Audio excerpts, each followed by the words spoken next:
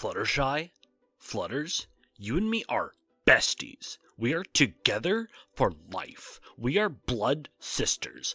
I would kill for you. Do you understand that? Do you understand that I would take the life of another mare for you? If you pointed a hoof at someone and said you wanted them gone, they would go missing in under an hour.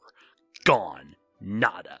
If we were in a room and someone threw a bomb into it as revenge for you making me off them, I would jump right onto that bad boy to shield you from the blast. Not a touch of shrapnel would even touch your equine stature, sis.